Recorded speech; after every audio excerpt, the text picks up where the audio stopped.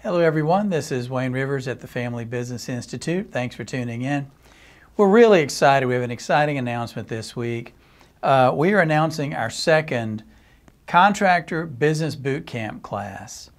And I guess the reason I'm so excited is because, frankly, when we talked to, to you about this in the winter last year, we really didn't know if it was going to be a success. We, we've done one-on-one consulting and peer group consulting, and we know we could do these things. This was our first attempt at a classroom learning experience.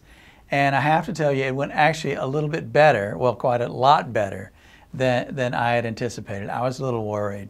So the new uh, boot camp cohort will begin Thursday, September 26th. Come in for dinner and drinks that night. All day we'll work on Friday, all day Saturday, free to go home Saturday evening. The first class was wonderful.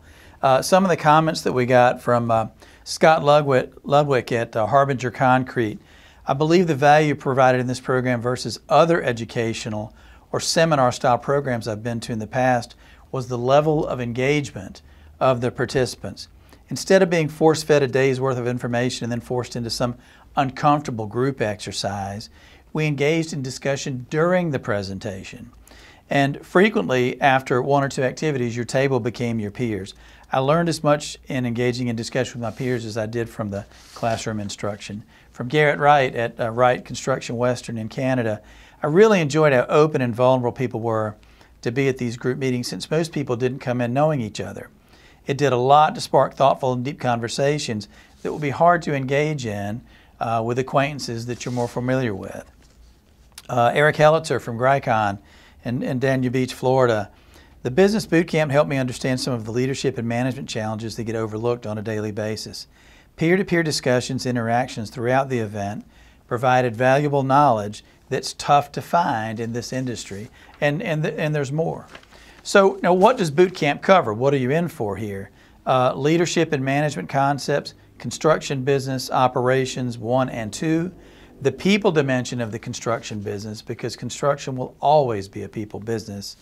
Um, business development, uh, construction business finance, executive leadership, and then strategic business planning for contractors. This, this program is not about pouring footings or bending conduit or, or, or rooftop safety. This is about the business of contracting. We can't teach you today, the day-to-day stuff. You're already learning that. You already know that more than we could ever teach you. This is about the business of running a construction business.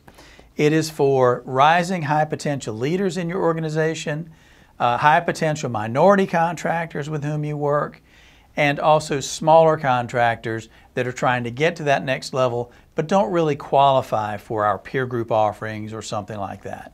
So those are the people we're looking for.